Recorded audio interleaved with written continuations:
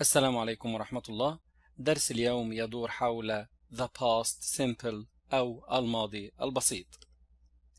لكي نتعرف على زمن الماضي البسيط سوف نعرض جمل في المضارع وأخرى في الماضي ومن خلال هذه المقارنة نستطيع أن نكون مفهوم حول زمن الماضي البسيط. نبدأ. I usually work 8 hours a day. أنا عادة أعمل 8 ساعات في اليوم but لكن yesterday I started work at 9 a.m. and finished at 9 p.m. ولكن أمس أنا بدأت العمل عند الساعة التاسعة صباحا وانتهيت من العمل عند الساعة التاسعة مساء. Max usually drives to work. ماكس عادة يذهب بسيارته إلى العمل but yesterday he walked ولكن أمس مشى. Anne usually watches TV in the evenings. Anne عادة تشاهد التلفاز في المساء but yesterday evening she listened to the radio ولكنها أمس في المساء استمعت إلى الراديو نلاحظ هنا أننا قمنا بوضع هذه الأفعال في زمن المضارع البسيط بإضافة s كما في drives أو es كما في watches ولكننا أبقينا على الفعل كما هو كما في الفعل work. وبالنظر إلى الماضي نلاحظ أن جميع هذه الأفعال أضيف إليها ed لتحويلها إلى الماضي. وتسمى هذه الأفعال بأفعال قياسية regular verbs. مزيد من الأمثلة؟ I usually have my lunch at home أنا عادة أتناول الغداء في البيت but لكن yesterday I had my lunch in the office ولكن أمس تناولت غدائي في المكتب Jack usually goes shopping with his dad جاك عادة يذهب للتسوق مع والده but لكن yesterday he went shopping alone ولكن أمس ذهب للتسوق بمفرده رهف usually does her homework in the evening but رهف عادة تحل واجباتها في المساء. ولكن yesterday she did it after school. ولكن أمس حلت الواجبات بعد المدرسة. نلاحظ أنه عند تحويل هذه الأفعال إلى الماضي لم نضف إليها ed وهذه هي الأفعال الشاذة irregular verbs. ومن هنا يمكننا أن نقول أنه عند التحويل إلى الماضي تنقسم الأفعال إلى regular أفعال قياسية and irregular أفعال شاذة. ولتحويل الأفعال القياسية إلى الماضي نضيف إليها d. إذا كان الفعل ينتهي ب e. كما في الفعل live يتحول إلى lived يعيش عاش. وكذلك invite invited يدعو دعا. أما إذا كان الفعل لا ينتهي ب e فنضيف إليه ed كما في watch watched يشاهد شاهد. walk walked يمشي مشى. أو نضيف IED للفعل إذا كان الفعل ينتهي بحرف ال Y ويسبق حرف ال Y حرف ساكن كما في cry تتحول إلى cried.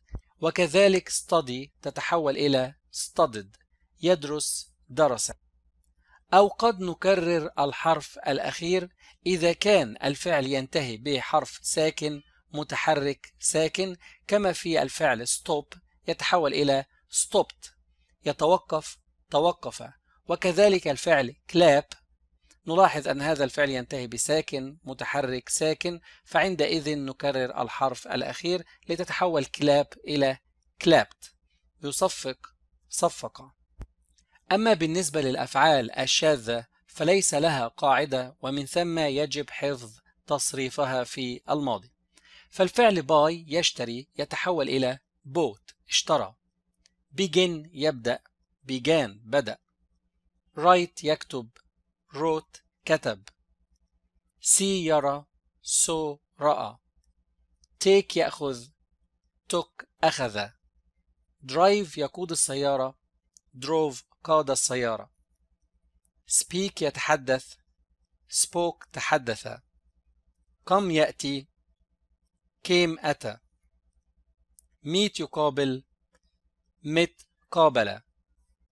leave يغادر. left غادر. نأتي الآن إلى النفي. فعند نفي الفعل في زمن الماضي البسيط نستخدم didn't ويأتي بعد didn't المصدر من الفعل. على سبيل المثال started. عند نفي هذا الفعل استخدمنا didn't ثم أتينا بالمصدر من الفعل started وهو start لتصبح. started بدأ didn't start لم يبدأ. وكذلك watched تتحول إلى didn't watch studied didn't study stopped didn't stop went didn't go had didn't have أما was و were was تحول إلى wasn't و were تحول إلى weren't نأتي الآن إلى استخدام الماضي البسيط The past simple expresses a past action that is finished. يستخدم الماضي البسيط للتعبير عن فعل حدث في الماضي وانتهى. وفيما يلي أمثلة تدل على هذا الاستخدام. I lived in Paris when I was 8 أنا كنت أعيش في باريس عندما كان عمري ثمان سنوات. My dad bought a new car last month. والدي اشترى سيارة جديدة الشهر الماضي. Alex traveled to Spain two days ago. أليكس سافر إلى إسبانيا منذ يومين. She was born in 1997 هي ولدت عام 1997 نلاحظ من خلال هذه الأمثلة أن جميع هذه الأفعال وقعت في الماضي وانتهت. ودائما ما تحتوي جمل الماضي البسيط على دلالات زمنية تشير إلى الماضي ومنها last last night ليلة أمس last Saturday السبت الماضي last week الأسبوع الماضي last month الشهر الماضي last year العام الماضي وكذلك yesterday أمس yesterday morning صباح أمس yesterday afternoon yesterday evening و in In 1997 في عام 1997 in April في شهر إبريل. وكذلك من الكلمات التي تدل على الماضي ago.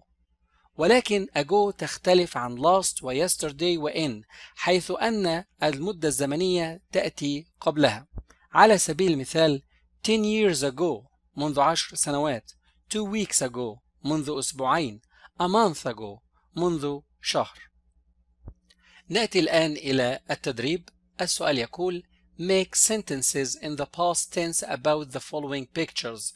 والمطلوب منا هنا هو أن نكون جمل في زمن الماضي البسيط عن هذه الصور. فكما نلاحظ في هذه الصورة بيتر لم يرتب غرفته. لذلك قلنا بيتر didn't tidy his room. بيتر لم يرتب غرفته.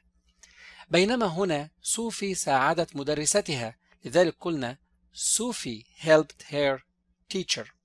وفي هذه الصورة هل انتهى هاري من حل اللغز؟ لا لم ينتهي. لذلك نقول هاري didn't finish his puzzle. هاري didn't finish his puzzle. وفي هذه الصورة هل عزفت لوسي على ال violin؟ لا لم تعزف. لذلك نقول لوسي didn't play the violin.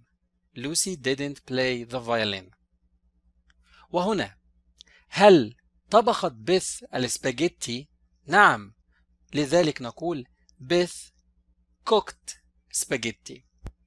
بينما هنا وبسبب مرضه لم يستطع مستر هاردي الذهاب إلى العمل. لذلك نقول مستر هاردي didn't go to work.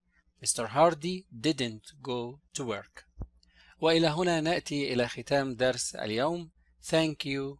Goodbye.